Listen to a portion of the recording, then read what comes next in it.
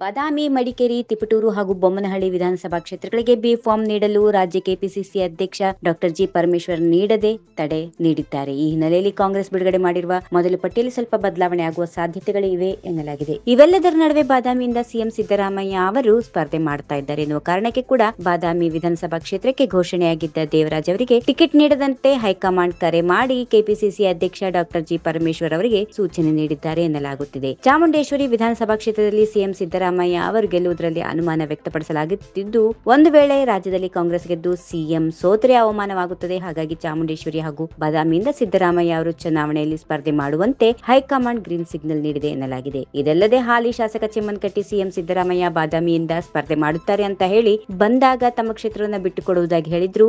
ಈ ನಡುವೆ ಬಾದಾಮಿಗೆ ಚಿಮ್ಮನಕಟ್ಟಿ ಹಾಗೂ ಸಿಎಂ ಸಿದ್ದರಾಮಯ್ಯ ಅವರ ಹೆಸರನ್ನ ಘೋಷಣೆ ಮಾಡದೆ ದೇವರಾಜ್ ಅವರ ಹೆಸರನ್ನ ಘೋಷಣೆ ಮಾಡಿದ ಬಳಿಕ ಚಿಮ್ಮನಕಟ್ಟಿ ಬಹಿರಂಗವಾಗಿ ತಮ್ಮ ಅಸಮಾಧಾನವನ್ನ ವ್ಯಕ್ತಪಡಿಸಿದ್ದಾರೆ. ಈ ನಡುವೆ ನಿನ್ನೆ ಬಿ ಫಾರ್ಮ್ ಅನ್ನು ಪಡೆದುಕೊಳ್ಳುವ ಸಲುವಾಗಿ ಕೆಪಿಸಿಸಿ ಅಧ್ಯಕ್ಷ ಡಾಕ್ಟರ್ ಜಿ ಪರಮೇಶ್ವರ್ ಅವರನ್ನ ಭೇಟಿಯಾದ ವೇಳೆ ಬಾದಾಮಿ ಕ್ಷೇತ್ರಕ್ಕೆ ಬಿ ಫಾರ್ಮ್ ಅನ್ನ ನೀಡುತ್ತಿಲ್ಲ ಎನ್ನುವ ವಿಷಯ ಕೇಳಿ ಸದ್ಯ ಡಾಕ್ಟರ್ ಜಿ ಪರಮೇಶ್ವರ್ ಜೊತೆ ಚರ್ಚೆ, ಚಿಮ್ಮನಕಟ್ಟಿ ಹಾಗೂ ದೇವರಾಜ್ ಚರ್ಚೆ ನಡೆಸಿದರು ಎಂದು ಹೇಳಲಾಗುತ್ತಿದೆ. ಮಡಿಕೇರಿ ಕ್ಷೇತ್ರದ ಅಭ್ಯರ್ಥಿಗೆ ಪ್ರಕರಣವೊಂದರ ನೆಪ ಇದರೊಂದಿಗೆ ಇವರಿಗೆ ಬಿ ಫಾರ್ಮ್ ನೀಡಿದರೆ ಮುಂದೆ ಸಮಸ್ಯೆ ಎದುರಾಗಬಹುದು. ಕೆಲವು ಸಮಯ ಕಾದು ನೋಡೋಣ ಅನ್ನುವ ನಿರ್ಧಾರಕ್ಕೆ ಕಾಂಗ್ರೆಸ್ ಮುಖಂಡರು ಬಂದಿದ್ದಾರೆ ಎಂದು ಹೇಳಲಾಗುತ್ತಿದೆ.